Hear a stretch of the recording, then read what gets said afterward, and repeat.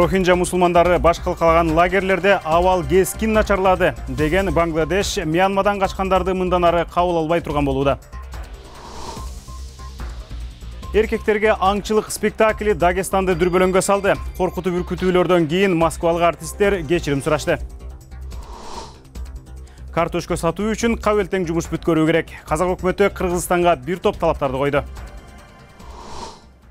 Саламатсызбы бүгүн азаттыкта ушул жана башкалар тууралуу кенен айтып беребиз адегенде баяндардан баштайлы бангладеш мындан ары рохинджа мусулмандарын кабыл албайт мьянмалык качкындар бир жарым жылдан бери баш калкалап жаткан лагерлерде абал кескин начарлаганын бангладеш улуттар уюмуна маалымдаган ошол эле маалда лагердегилердин кайра артка кайткысы дагы жок себебин кубат касымбековдон билсек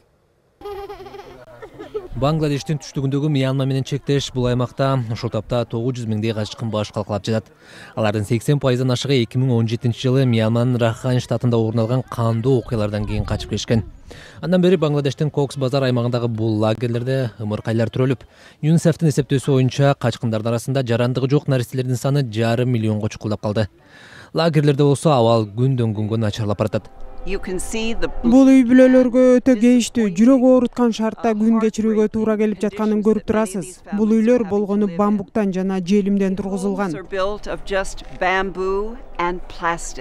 андыктан бангладеш мындан ары мьянмадан качкындарды кабыл ала албай турганын бириккен улуттар уюмунун коопсуздук кеңешине билдирди өлкөнүн тышкы иштер министрлиги жыйырма сегизинчи февралдагы билдирүүсүндө качкындар лагерлеринде кырдаал өтө начарлап кеткенин белгилеп эл аралык коомчулукту чечкиндүү кадамдарга барууга чакырды эки миң он жетинчи жылдын август айында мьянманын рахайн штатында миңдеген рохинджа мусулмандары коопсуздук күчтөрүнүн операциясы убагында каза таап жүз миңдегени коңшулаш бангладешке качууга аргасыз болгон бириккен улуттар уюму бул окуяларды бир улутка кыргын салуу аракети катары сыпаттаган бирок буддисттер басымдуулук кылган мьянманын бириги дооматтарды четке кагып рахайндагы операциялар согушкерлердин чабуулунун мизин кайтарууну көздөгөнүн билдирип жатат кезинде нобелдин тынчтык сыйлыгын алган мьянманын иш жүзүндөгү лидери ансан сучи да рохинджалардын маселесинен улам сынга кабылып келет ал жыйырма экинчи февралда рахайн штатындагы инвестициялык форумга катышып тескерисинче эл аралык коомчулукту айыптап сүйлөдү мьянма экономикадагы ачыктык саясатынын пайдасын көрүп жатса да ракхайндын экономикалык мүмкүнчүлүгү толук колдонулбай жатат.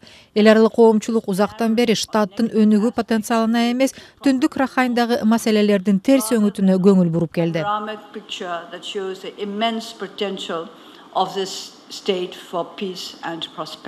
Мьянма бангладешке качкан мусулман азчылыктарын артка кайтаруу программасын иштеп чыкканын билдирген менен андан майнап чыга элек бангладештин тышкы иштер министри соңку билдирүүсүндө мьянманын жетекчилигин курулай убада берип жатат деп айыптады. Анын үстүнө лагердеги бул качкындардын арасында өз ыктыяры менен мекенине кайткысы келгендер да жок эсе кубат касымбеков азаттык. Улантабыз украин президенти петро порошенко мыйзамсыз байыгандарды жазалоо жөнүндө мыйзам долбоорун парламентке алып келди. Буга чейин өлкөнүн конституциялык соту кылмыш кодексиндеги бул беренени баш мыйзамга туура келбейт деп тапкан. Төрт жыл мурда эл аралык коомчулуктун талабы менен коррупцияга каршы күрөштүн алкагында киев мына ушундай мыйзам киргизип ал үчүн батыштан он жети жарым миллиард доллар насыя алган болчу. Гүлай машакеева кененирээк я наприклад не очікував сам річ такого рішення конституційного суду що жогорку рааданын депутаты николай княжецкий украинанын конституциялык сотуна кайрылып эки миң он бешинчи жылы кылмыш кодексине киргизилген мыйзамсыз байыгандарды жазалоо беренеси конституцияга канчалык туура келер келбесин карап чыгууну өтүнгөндөрдүн бири є норма. Бул берене менен бир дагы соттун чечими чыккан эмес адвокаттар бул норма. Конституцияга каршы келерин такай айтышат сот болсо аны эске алып эч бир чечим чыгара алган жок. І суд завжди до цього прислухався. Мындай берене мыйзамга евромайдандан кийин эл аралык коомчулуктун талабы менен киргизилген. Коррупцияга каршы улуттук бюро жана коррупцияга каршы прокуратура түзүлгөн. Эки миң он бешинчи жылы эл аралык валюта фонду реформаларды ишке ашырууга киевке он жети жарым миллиард доллар насыя берген. Конституциялык сот кылмыш кодексине киргизилген мыйзамсыз байыгандарды жазалоо беренесин баш мыйзамга туура келбейт деп тапты. Сот берене мыйзамдагы күнөөсүздүк презумпциясы деген принципти бузат деп түшүндүрдү. Айрым депутаттар мыйзамсыз байыгандарды жазалоо беренесин алып салууга бийлик буйрук берген дешет отуз биринчи мартта украинада президенттик шайлоо өтөт. Эки депутат нааразылык көрсөтүп парламенттеги президент порошенконун блогунан чыгып кетишти. Норма, бул норма евромайдандан кийин пайда болгон. Адилеттикти орнотуунун талабы болчу евромайданга чейин жыйырма жыл жана андан кийин беш жыл бою өлкөнү тоногондорго каршы берене эми жоголду коррупцияга каршы күрөшкөн баардык органдардын иши конституцияга каршы келет жана мыйзамсыз деп табылуу коркунучуна кабылды соңку үч жылда эле коррупцияга каршы улуттук бюро бул берененин негизинде жүздөн ашуун кылмыш ишин козгогон бир нече депутат прокурор сот министрлердин иши тергөөдө турат айрым иштер сотко өткөрүлүп өкүм чыгаруу гана калган эми ал иштердин баары жабылат украинада талаш кызуу жүрүп жаткан маалда президент петро порошенко жогорку радага мыйзамсыз байыгандарды жоопко тартуу жөнүндө мыйзам долбоорун сунуш кылды. Анда конституциялык соттун баардык сунуштары камтылганы айтылды. Гүлайым ашакеева азаттык дагы бир баяныбыз калды дагестандагы эркектерге аңчылык спектаклиндеги чуу уланып мушкер нурмагомедовдон тарта кремльге чейин көтөрүлдү орус президентинин маалымат катчысы дмитрий песков ар субъекттин өз каада салты бар аны албетте эске албай коюуга болбойт деп билдирди алдыда спектакль тууралуу жана анын айланасындагы ызы чуу тууралуу кеңирээк спектаклдин өзөгү күйөөсү бар келин жаш жигит менен таанышып анын турмушун чакчелекей салганы тууралуу москвадан келген артисттер аны 23 февралда махачкалада көрсөтүшкөн ушундан соң сын күчөдү. Ага белгилүү мушкер хабиб нурмагомедов да кошулду. Эмнеге баары унчукпай шаардын борборундагы бул порнону ырас көрүп атышат? Деги эле бул үчүн ким жооп берет? Дагестан өкмөтүнө кайрылам. Эгер баары социалдык тармактардагы билдирүүлөр менен бүтөт десеңер жаңыласыңар. Убагында чара көргүлө мына ушундан кийин социалдык сайттарда спектаклдин артисттеринин жана уюштуруучулардын барактарына сын коркутуулар көбөйгөн. Маданий иш чараны уюштураарда аймактык өзгөчөлүктү эске алуу керек деп хабибти жергиликтүү бийлик дин өкүлдөрү да колдоп чыгышты. Артисттер интернетте кечирим сурашты. Дагестандык көрүүчүнү атайлабастан таарынтып алганыбыз үчүн кечирим сурайбыз. Кат куржунга коркутуулар толуп кетти. Менимче болуп өткөндөр дагестанда концерт же спектакль койгусу келгендердин көбүн цензура тууралуу ойлонууга түртөт дагестанда мындай окуя буга чейин да болгон өткөн жылы нурмагомедов рэпер игорь криттин концертине каршы чыккан ошондо мушкер башка бир ырчы тимати менен жаакташа кеткен. Жаңжал тиматинин жакын досу чеченстандын башчысы рамзан кадыровдун кийлигишүүсү менен жөнгөрүлгөн. Ошол эле маалда артисттерди оозго алгыс сөздөр менен сөгүп жок кылам деп коркутуу менен исламда жок зөөкүрлүктү көрсөтүүдө деп нурмагомедовдун фанаттарында сындаган жергиликтүүлөр бар. Улантабыз ушул жана башка маалыматтарды албетте азаттык чекит орг сайтынан окуп көрө аласыз. Ал жерде кыргызстандагы дагы жаңылыктар бар. Эл аралык кабарлардан эми дагы кыскача. Жыйырма сегизинчи февралда астанада кыргыз казак вице премьер министрлери жеңиш разаков менен жеңиш касымбек жолукту. Анда тараптар картөшкө алма жана курмага киргизилген чектөөнү алып салууну эске алган протоколго кол коюшту протокол 15 күндөн кийин күчүнө кирээрин кыргыз өкмөтүнөн билдирип жатышат. Ошол эле маалда казак өкмөтү 2018-2019 жылдары аныкталган 465 эреже бузууну кыргыз фитосанитардык кызматы жойгону тууралуу маалымат каралып чыккандан кийин гана чектөөнү алууга даярдыгын билдирет. Уда эле 28 февралда кабылданган жол картасындагы 17 жободон турган ишти июль айына чейин аткаруу зарылдыгы эскертилет. Казакстан кыргызстандык картошкө алма жана курманы алып кирүүнү 19 февралда чектеген.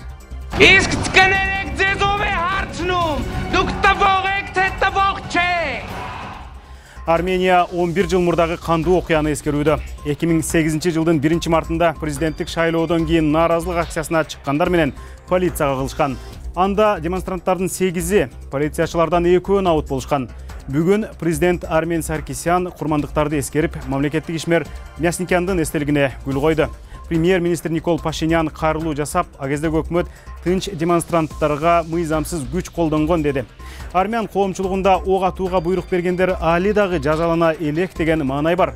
эки миң сегизинчи жылкы биринчи марттагы кандуу окуяларды иликтөө ишин аягына чыгаруу пашиняндын негизги убадаларынын бири ошол учурдагы президент роберт качарян күч колдонууга мыйзамсыз буйрук берген делип жетинчи декабрда кайрадан камакка алынган. Жыйырма сегизинчи февралда адам укуктары боюнча европа соту франция менен грецияны мигрант балдарга карата мамилеси үчүн доого жыкты. Чечимге ылайык франция оогандык өспүрүмгө он беш миң евро төлөшү керек. Эки миң он алтынчы жылы ошол маалда он эки жаштагы жамил хан франциядагы кале шаарында мигранттар лагеринде баш калкалачу.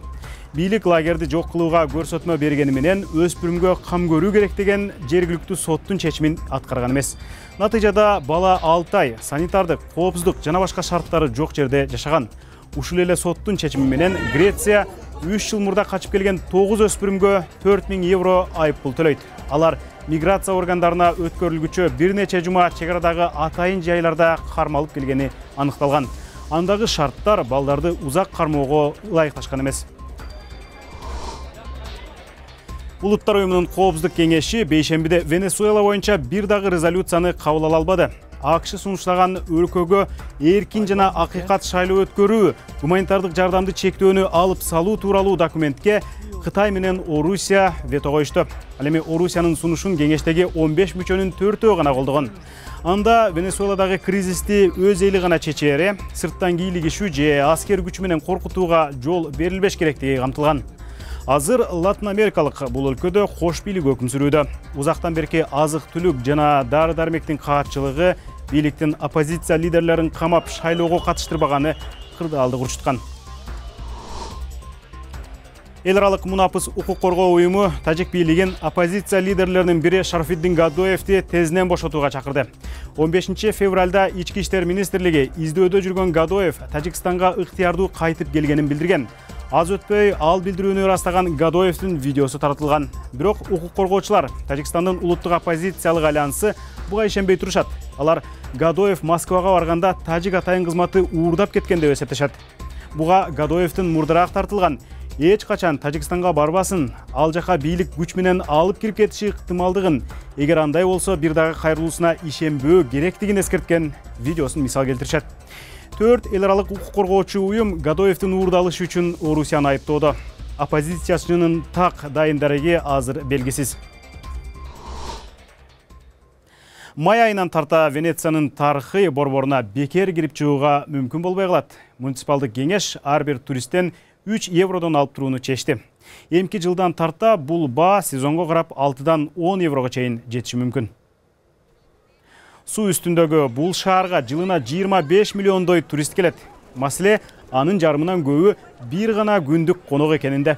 Алар мейманканаларга көп түнөбөй тамакты дагы өздөрү ала келишкендиктен жергиликтүү бизнеске дээрлик киреше түшпөйт. Ошол эле маалда каналдар менен көчөлөрдү тазалоого башка европалык туристтик шаарларга караганда венеция отуз миллион евро көбүрөөк сарптайт экен. Ал чыгым азыр жергиликтүү элдин мойнунда а жергиликтүү калк акыркы жылдары азайгандан азайып барат бул чарага туристтер эмне дейт туристтер венециялыктарды тажатканын түшүнүп турам ошол эле адамдар бул жерге толтура акча дагы алып келип жатпайбы менимче киргендерден акы алуу бул калпсыз чечим туристтердин азайышына алып келет менимче венецияга келгендерден салык алуу эң сонун идея. Жергиликтүүлөр ал каражатты тейлөөнү жакшыртууга же шаарды сактап калууга колдоно алышат. Бул жерде иш көп каналдарды оңдоо кымбатка турат. Демек керемет шаарга суктангысы келгендер төлөшү да кажет.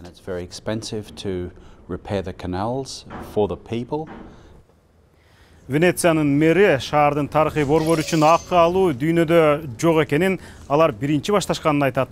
Конок үзүлбөгөн башка шаарлардын бийликтерин дагы мына ушундай төлөм киргизүүгө чакырууда